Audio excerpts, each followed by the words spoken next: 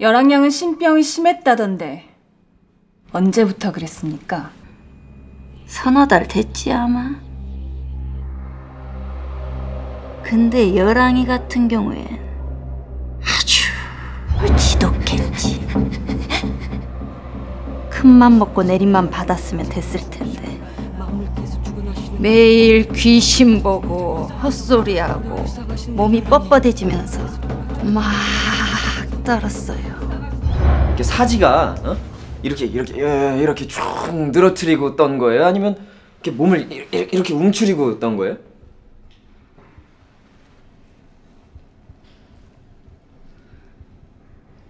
움츠리듯 그런 것 같았어요. 목하고 몸이 막 굳은 것 같았거든요. 바로 이유시신이 사건 당일 얘기 좀 해주십시오. 일단 그날도 비명 소리는 났죠. 신병 걸린 후에 매일 밤마다 비명 지르고 난리도 아니었어요. 사정을 아니까 우린 다 그러려니 했죠. 동네 순경들도 마찬가지고. 밤에는 신병 때문에 그러고 낮에는 엄마 말 안 들어서 매 맞고 매를 맞았다고요? 예. 그렇게 해서라도 신을 받게 해야 했으니까. 그래야 몸이 나으니까요. 열왕량은 반항하지 않았습니까? 반항은요. 안 받는 것 빼고는 효녀도 그런 효녀가 없죠.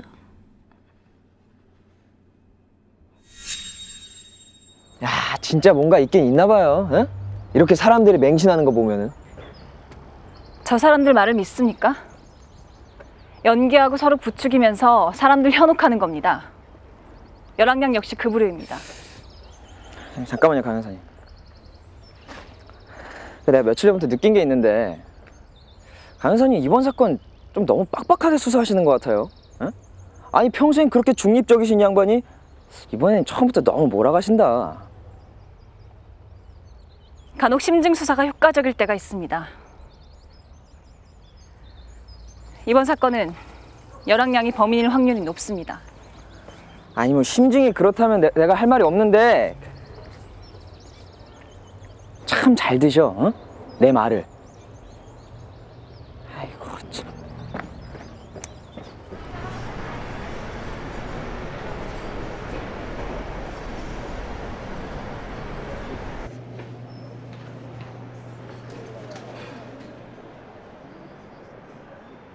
동생을 보신 게 언제가 마지막입니까?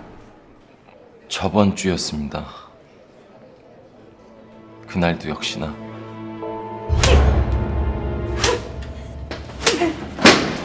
지금 뭐 하는 거야? 미쳤어 엄마?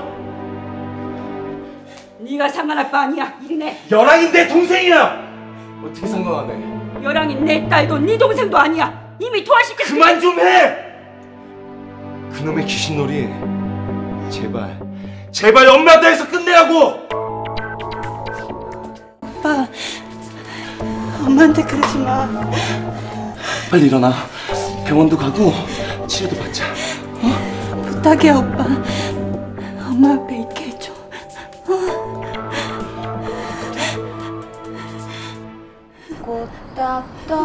꽃답던 내 청춘 절로 오는 것 남은 반생을 어느 곳에다 뜻 붙일 곳 언제나 그랬어요. 벗어나지 못할 거라고요. 그 말 무시하고 그때 억지로 끌고 나왔어야 했는데